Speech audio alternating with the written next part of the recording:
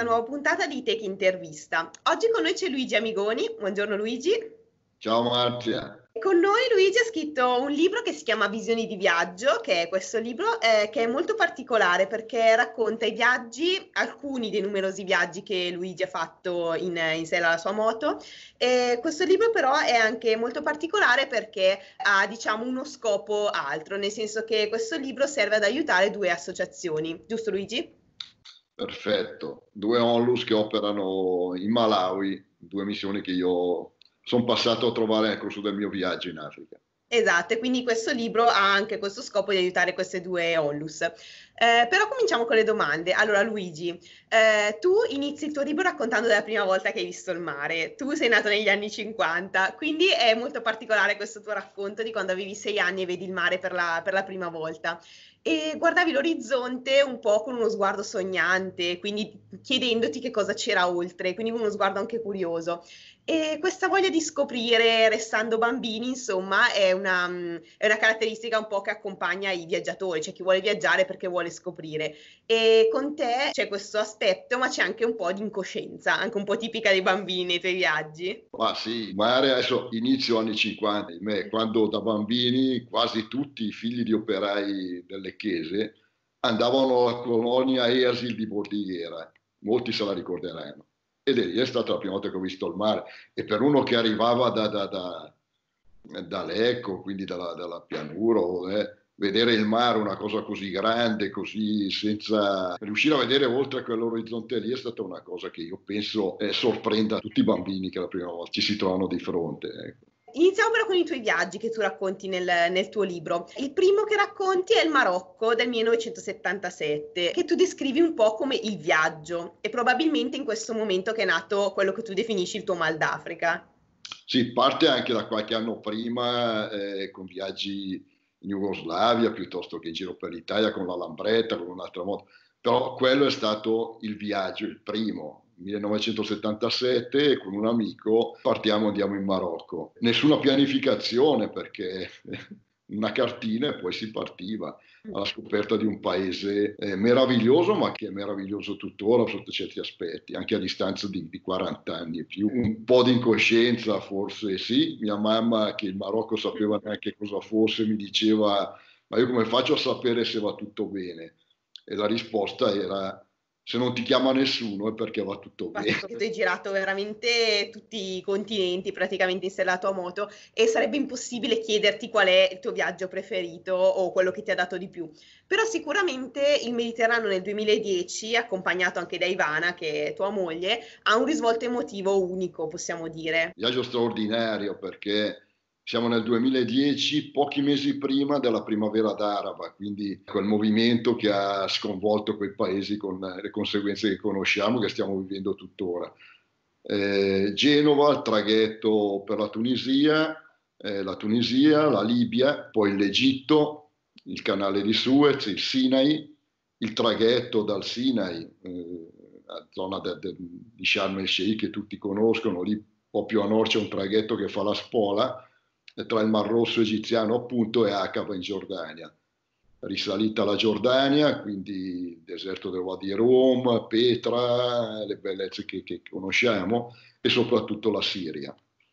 La Siria perché alla luce di quello che poi è successo successivamente che, e che la tocca ancora con, eh, con le vicende che conosciamo, ha per me un ricordo particolare, un paese meraviglioso, una, una popolazione altrettanto splendida e poi le bellezze di luoghi come Palmira, di cui adesso eh, tratta di capire cosa è rimasto di quel luogo lì, entrare con la mia moto, quei luoghi dove i romani ci sono arrivati duemila anni fa, ma mica in moto, eh, quindi e lì ci entri, non c'è una biglietteria dove, dove entravi, pagavi il biglietto. Diciamo. E un altro incontro estremamente importante per me in Siria è stato l'andare a vedere l'eremo di Marmusa Labash, Mosè Labissino, che è stato riportato in vita da padre Dall'Olio e ormai dal 2013 non si hanno più notizie eh, di lui. Importantissimo questo luogo perché era un luogo di culto multireligioso, lì andavano a pregare, comunque a, a riflettere ebrei, cristiani e musulmani. Viaggio davvero... In compagnia questo viaggio di Ivana. Ivana, condiviso interamente con Ivana, che, che quando può mi segue nei miei viaggi. Adesso io sono in pensione, lei lavorava ancora, per cui non poteva... Eh. Certo. Però se ho potuto fare i viaggi che ho fatto è stato grazie alla, diciamo, comprensione di mia Che non è da tutti. Nei tuoi numerosi viaggi, diciamo che sono stati tantissimi, quindi è difficile eh, dire tanto di ognuno, però vorrei farti una domanda sul tuo viaggio in Mongolia, perché soprattutto in questo momento storico, tu arrivi in Kirghizistan e a un certo punto ti trovi di fronte ad una popolazione nomade che vive praticamente di niente in assoluta libertà. Fai una, una riflessione molto profonda in, su questo momento perché proprio ti confronti con questa libertà di queste persone e ti chiedi ma il nostro sviluppo economico e tecnologico porta veramente alla nostra libertà? E quindi questa riflessione è molto molto, molto bella che tu fai. Sì, lì per certi aspetti, anche se in modo differente, la stessa riflessione la potremmo fare sull'Africa. È diverso perché eh, è un viaggio intanto impegnativo perché l'ho fatto da solo. Eh, la prima parte con Ivana fino a Samarcanda, eh, quindi in, in, Uzbekistan, le città famose, Uzbekistan, Samarcanda, Bukhara, eh, Kiva, lungo la via della seta, quindi paesi, paesaggi davvero spettacolari. In Uzbekistan poi Ivana è tornata, io ho proseguito da solo. Kirghizistan è un piccolo stato dell'ex eh, Unione Sovietica, si sviluppa a 3.000 metri d'altezza, popolazioni nomade che vivono di quello che la natura offre loro, un po' di allevamento, un po' di agricoltura. Lì ho visto bambini felici, gente serena, una situazione diversa dall'Africa, questa perché comunque il sostentamento loro ce l'hanno, hanno di che vivere. Mm. Vivono di poco, ma non hanno eh, problemi di acqua piuttosto che di alimentazione vera e propria. Lì davvero ti impone delle riflessioni perché eh, se poi vediamo i nostri bambini, inevitabilmente diventano capricciosi perché tutto gli è dovuto e tutto certo. hanno. Eh. Io dico sempre, bisognerebbe portare i nostri figli e i nostri nipoti un pochino da quelle parti. per capire. I valori della vita cambiano radicalmente, c'è niente da fare. La cosa interessante del tuo libro è che non è solamente un resoconto di viaggio, ma appunto i tuoi viaggi portano a fare tante riflessioni. A me, ad esempio, è piaciuto molto il tuo viaggio dall'Alaska alla Patagonia, perché è un viaggio incredibile, lunghissimo, però c'è un viaggio che adesso vorrei eh, chiederti di dirci qualcosa, perché è il viaggio che hai fatto in Australia. Mi interessava molto focalizzare l'attenzione su questa tua esperienza, proprio perché quest'anno, con gli ultimi accadimenti, soprattutto appunto che è cominciato con gli incendi in Australia, porta molto l'attenzione su ciò che è il clima, quindi i cambiamenti climatici, l'attenzione verso l'ambiente. Com'è questa terra che tu hai conosciuto prima che succedesse tutto questo? Beh, è stato, intanto l'Australia uno pensa, vabbè, uno che ha attraversato l'Africa in moto piuttosto che, che, che, che l'Asia, è così, è un viaggio comodo. In realtà l'outback australiano non è una passeggiata. Fai centinaia di chilometri al giorno senza vedere nulla, eh? quindi hai anche problemi poi sulle strade che ho fatto io nell'outback australiano, quindi la parte più selvaggia dell'Australia se vogliamo. La popolazione australiana è molto attenta all'ambiente, per cultura, per storia, eccetera. Però anche loro, nonostante questo, fanno i conti eh, con i capricci del clima oggi, quindi gli incendi che abbiamo visto, eh, foreste distrutte. E questo, ripeto, nonostante l'estrema attenzione che quel popolo ha nei confronti dell'ambiente stesso. Si tratta di capire come cambiare il nostro atteggiamento nei confronti dell'ambiente in cui viviamo. Alcune cose non vanno, non possiamo continuare a distruggere foreste e questo sta accadendo in Amazzonia, altro problema. E l'Amazzonia era il mio prossimo viaggio, ma eh, che a questo punto... Verrà rimandato probabilmente.